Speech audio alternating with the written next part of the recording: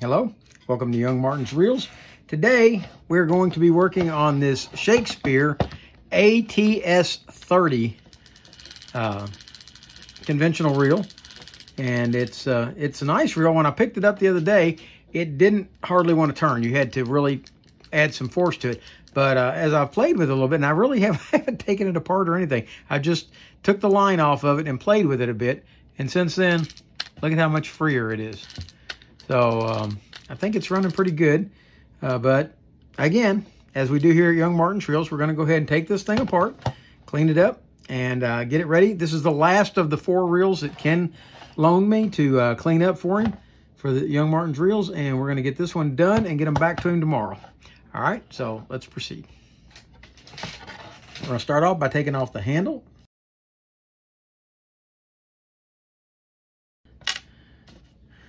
Nut lock off. I believe this is a 10 millimeter. I was correct.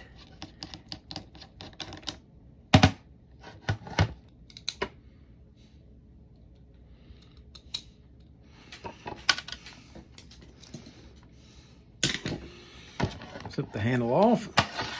Okay, it's got a tensioner on it, and the tensioner is, as usual, been flattened out to the point where it's not really providing any tension anymore.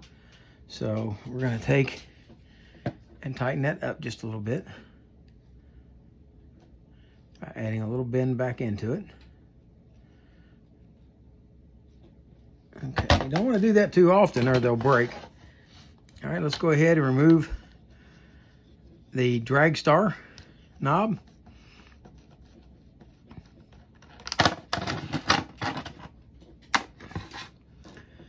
And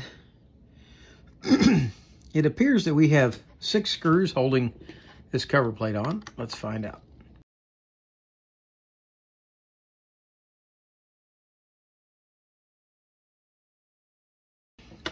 Okay, and then we have two on the end here. And they're the same size as the other ones. Now I feel the, the cover starting to lift, so my guess is it's got yoke springs here that are pressing against it. Let's see. Okay, we're gonna lift the cover off. All right, there's that last screw. That's all six of them are the same, so we're gonna put them over here in the corner. There are our yoke springs right there, which are providing our tension inside. And for a change, I have a reel that looks very nice inside. Let's see, we got a bearing here. Let's see if this, this is not an anti-reverse bearing. It's just a bearing.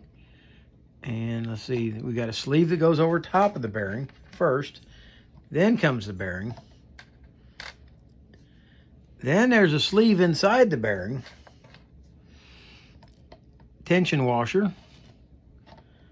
And someone has set these two tension washers in opposing positions, which is unusual. Usually they are nested into each other. But somebody set those two so that they were opposed to each other. So they were trying to get a little more drag out of this, I think. We're going to take this wheel off. And I think that might be part of the problem. Why I believe that these drag washers are really intended to be lubricated. And I think they lubricated them, so they were trying to tighten it down. Okay, so let's see if we can lift this gear up and off. And we can. There's nothing under it. That washer right there, that white one, is going to fit inside this groove right here. Now what I want you to see here is this is your anti-reverse on this. And it's very it's about as simple as it gets. That is very nice. I like that a lot. Okay. And this is held on with a C-clip right here. Okay, so that whole thing is held together with that C-clip. I don't see a point in taking that off since this is so clean under here, but somebody else will have taken it apart, so we're going to do it. Before we get to that, though, here's our yoke over here, and our yoke is what our pinion gear rides in right there. Okay, there's our pinion gear and our yoke. Let's see what we got going. Okay, this is our um, jack plate, and this jack plate is set in here to rotate. And I think we're gonna come back and put grease on that and go ahead and clean that up underneath there. But we're gonna take that jack plate out by removing this screw. Oh, that's a little screw. Not as little as the ones I was messing with the other day, but it's small. Okay, take our jack plate. Let's lift it out of there, like so. In the spring, I don't really see a lot of point in taking that out. Let's see if this wash, this plastic washer comes off, and it does. Now with the washer off, okay, that's gonna allow us to get to this C-clip so we can take it off. Okay, C-clip's off. I sit it on this side, and we're gonna lift our, now notice the orientation of this anti-reverse cog. It only goes one way. Make sure there's nothing under. Flip these over when you take them off. I have a bad habit of not doing that, and it almost bit me in the tail the other night. Okay, this must be our trip release under here. And there is a spring under here. Like so. All right, I'm not sure how that works yet. And now we can take out these two screws. And again, they're going to be little bitty ones. There's one. And there's two. And off comes our assembly. Oh, I didn't want to do that.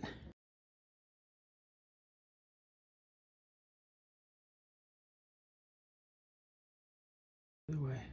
Yeah, it does. It went on this way because those ears right there, the spring, fit on it.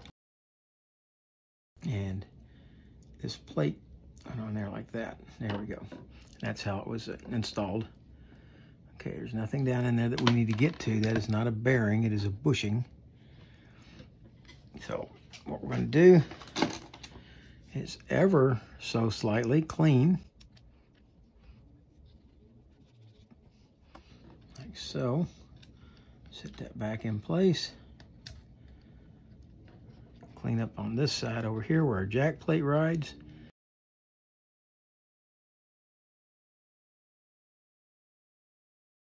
We're gonna put a little grease in there. We're gonna come back. We're gonna put a little grease in here. We're gonna slide this off for a second.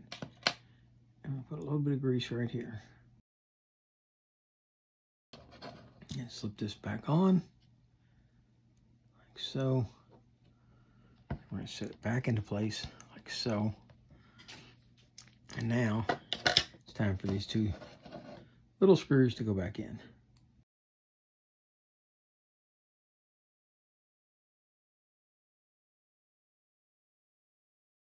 Now, if you ever have trouble with these little screws, a little dab of grease on the end of your screwdriver goes a long way towards holding them in place. There we go. All right, that shaft is ready to go again. This spring was in here, and it was hooked around one of these posts like so. But then beyond that, I don't really know what it does. Yes, I do. There's a little notch on that spring, and that notch is going to ride in this little notch right here on this cog. All right. I don't know how difficult that's going to be to get it to go in there, but that's what we're supposed to have. Matter of fact, let's take the spring off and put it on the cog first.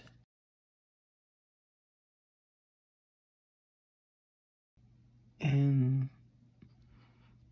there, like so. Okay. With that done, you need to kind of hold it in place while it goes down. And then hooks this little hook on this side over that cock. And it all fell apart. wow. Okay, so I'm thinking maybe it needs to be held sideways. because it just falls off otherwise. And let's put a little bit of grease to help hold it on.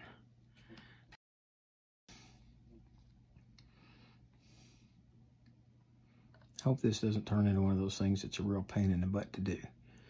Okay, so far that's in there. All right, holding it sideways, I'm going to slip it in like so. And then hook that, there we go, the spring goes over that right there, and it's locked in. Okay, I'm not real sure how that works exactly or what it's doing, but that's how it fits. That's what it's supposed to do. Next comes this cog. And that cog is going to fit down in here. Fit down on the keyway like so. And then make sure, see how the anti-reverse fits into it. Then we're going to come back and put this C-clip or E-clip, whichever one you want to call it, back on. Like that. Okay, that rides like so. Now we're going to go through this gear, or uh, drag assembly. Lift that one out. Okay, lift this one out. That's all of it together. All right, so what do we have here? We have a thin fiber washer. Then we have a keyed washer.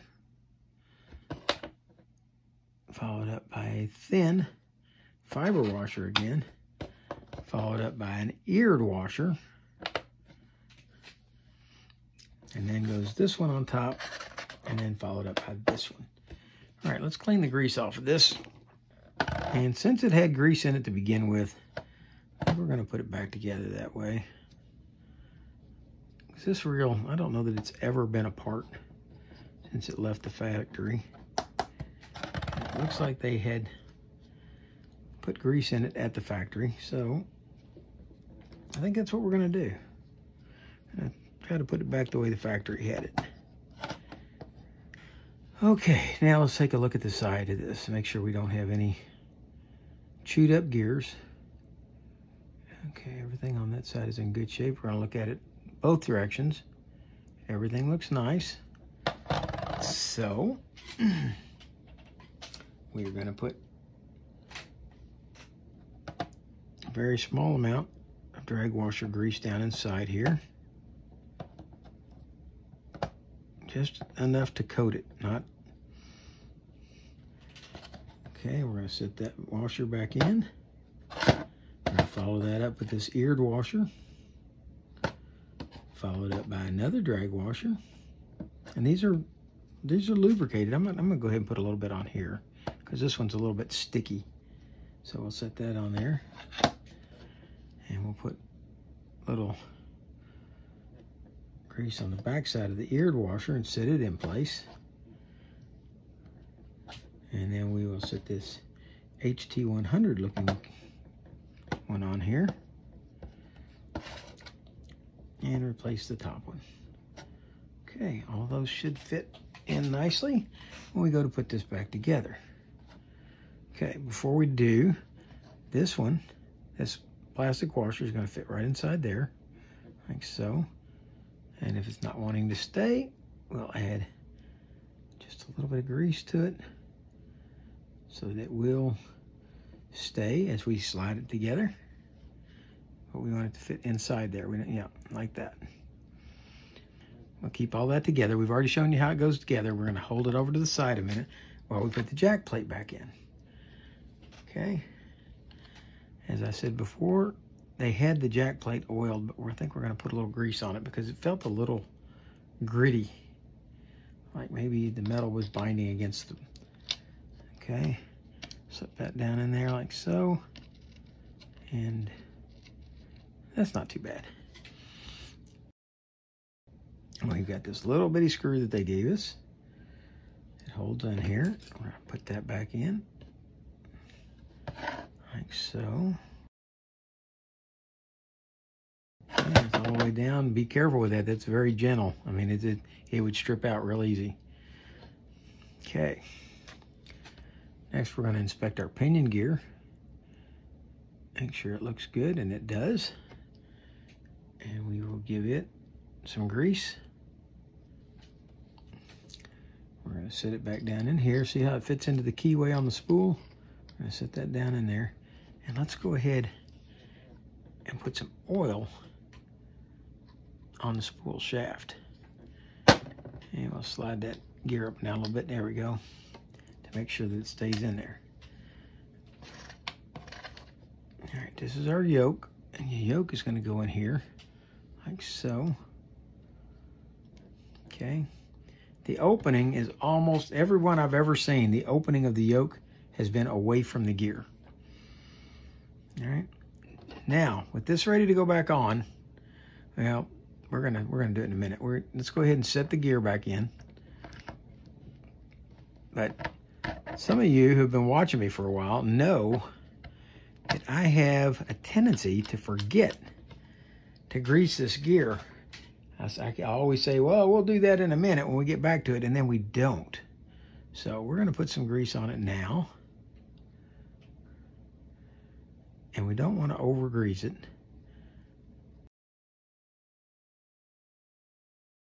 There we go. Something like so. Now we're ready for our two yoke springs. They go here and here. Okay, now we're going to check our trip on our eccentric over here, and it's working fine. We're going to add just a drop of oil to it. It's already greased on the face, but we're going to add some fresh grease on the face. Now, when we put this back together, we've got to make sure that that post fits in to the jack plate right here. So let's go ahead and put the jack plate down all the way, okay, which is engaged. Well, before we do that, let's go ahead and set these pieces back in. There's no reason not to. Okay, I'm gonna put these back together nested. See these two, they're curved, and the way they had them, they were opposed to each other. And uh, I'm not gonna put them in that way. I'm gonna put them in so that they're nested together because I don't really think we need that extra drag on this reel. So let's put those two down. Then comes the bearing collar and comes the bearing. I started to doubt myself there for a minute. I thought there was, this was supposed to be in here, but I went back, checked my video, and no, it's correct, the way I've got it. All right. That's why it's important to take pictures and videos and all that when you're doing these reels. Okay, we're gonna slide this sleeve on. That's all the sleeves. Everything's back together the way it's supposed to be, except we've still got to get this guy where it needs to be. All right, this goes on like so.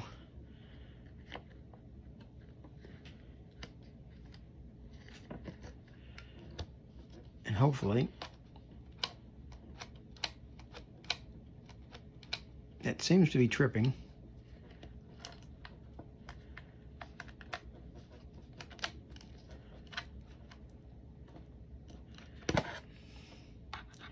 Well, that's not going to work till we get that on.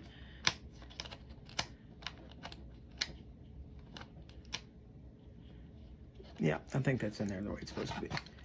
We're going to put one screw in at the front. And we're going to put one screw in at the back and screw the uh, the drag knob on and give that part a test real quick.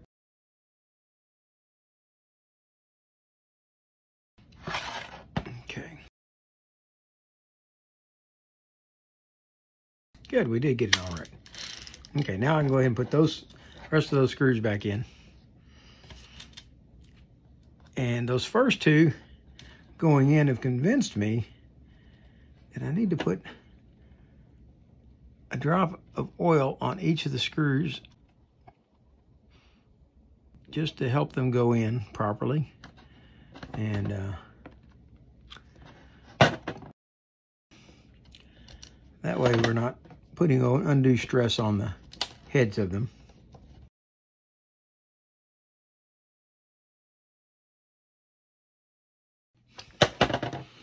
All right, that's got that side done. Let's go ahead and pop off this other side, pull the spool out, lube it, clean it.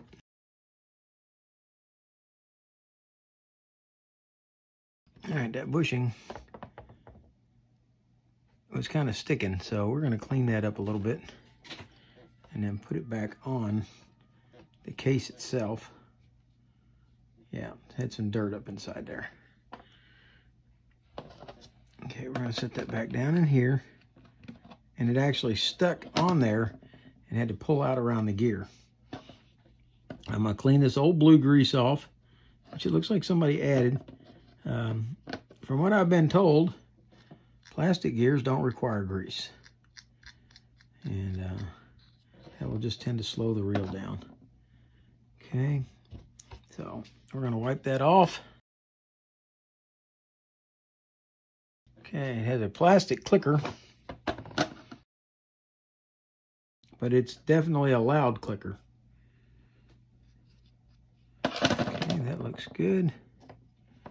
Okay, but there was dirt and debris on this. Let's go ahead and pull that off for a minute and clean this shaft up a little bit that shaft has a groove on it as though it used to have a um, C-clip of, some type on there. I don't know if it did or not. I don't have a schematic for this reel. All right. Put that gear back on. And we're going to move over to the worm gear. What we're going to do is try to take the pawl out.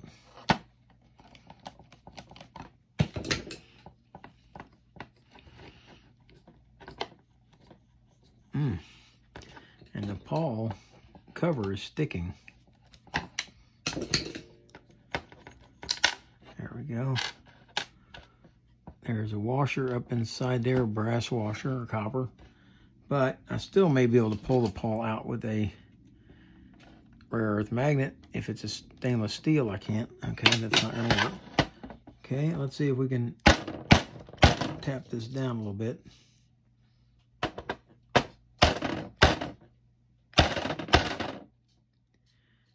Well, doesn't look like it's going to come down.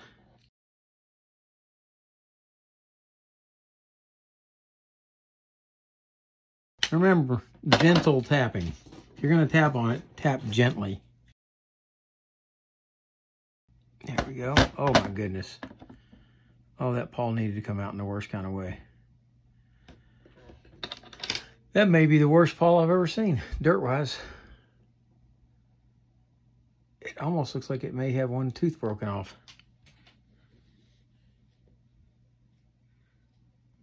But it doesn't. That was the other pawl actually had it was extended the length of it because of dirt. Okay.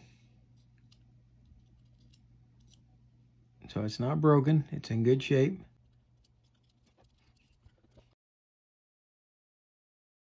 All right. Don't lose this washer. It's important. Gives the proper spacing in here.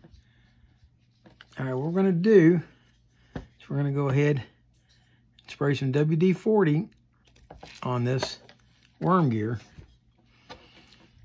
And we're gonna rotate it around and try to clean it up some.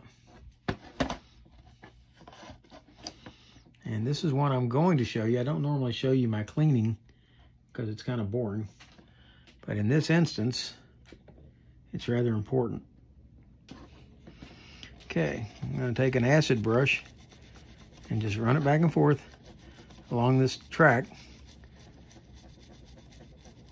And I'm going to keep coming back and adding some WD-40. I don't know if you saw that slime just climb out of there when I sprayed that, but there was quite a bit.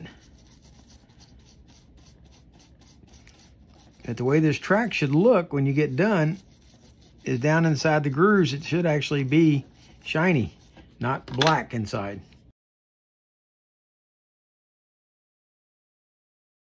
Okay, once you get one side of it clean, slide the guide to the other side and clean the other side. Just keep rotating it as you're scrubbing. And that should clean it up well. See how nice and shiny those tracks are now. That's what you should have. Then take and run yourself a cotton swab down inside where the pawl rides. Like so. Get the rest of the dirt out of there. And at that point, you're ready to slip your pawl back in. Okay, it goes in with these teeth facing front and back, not sideways. We're gonna set it in there. We're gonna give it a drop of oil. We're gonna make sure that it gets in there. And then I'm gonna slide this back and forth a little bit while rotating the gear. Give it a little, there you go. Once you get it to go down like that, you should be good. Because it should hit the other end, come back. Okay, be careful on this because you got your guide rod right here that wants to slide out because the side case is off. So watch that. Okay, once you know you got it in there good, it's time to put this little washer back in. There we go, like so. And we can now reinstall our pawl cap.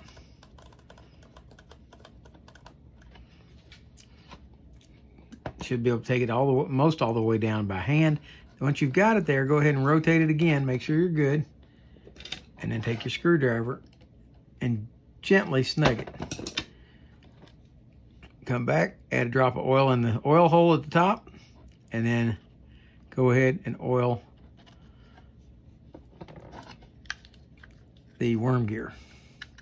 Fit that back in. Okay, that's all good. Everything there's clean. The worm gear's been cleaned. I can't do anything for this corrosion right here. It Eat that up. Something did. And uh, we're going to go ahead and put the side cover on. We're going to scrub out the rest of the exterior of the case. And, uh, oh, wait a minute. Got one more thing to do. I want to take the spool out if I can. There we go. And I want to clean the spool because it's got something along the edge of it that was catching on my fingers when I was running around. I think it had just a little bit of dirt on it. Tell you what, while I got that out, I'm gonna go ahead and run my toothbrush down through the insides of this while I can get to it.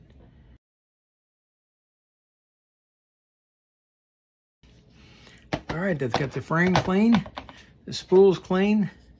We're gonna go ahead one last time and oil the shaft on the spool. And we're gonna slide that back in. Like so. We're gonna oil this bushing on the end one more time and the bearing or the shaft on the case there. All right, we're gonna make sure that this worm or uh, the uh, level wind guide bar is installed. And we're going to rotate this around so that this gear is facing this gear. And we should be about ready to put it back together. Slide this side on, lining up these holes, like so. Up.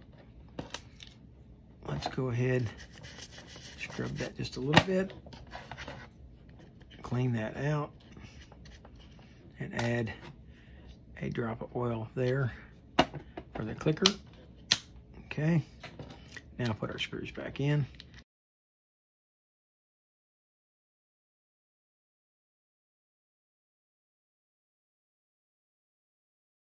Case off.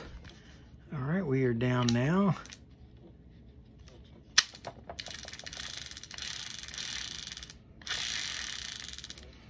Okay, we are down to installing the handle. Oh, before we put the handle on, goes the tensioner. There's the tensioner on, like so. Then the handle goes on. Then the nut for the handle goes on. That's 10 millimeter. That lines up with the hole.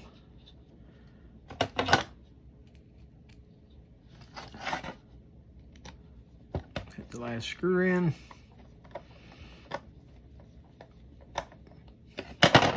All right, let's see what we have. First off, the handle still drop? Yes, it does. It's in great shape there. Let's perform an operational check. Okay, that's good.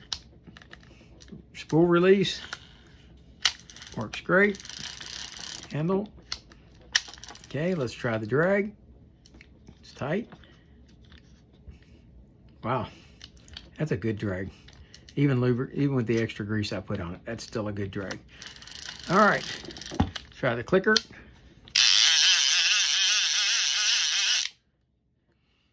And let's see how we are on the adjustment for the spool.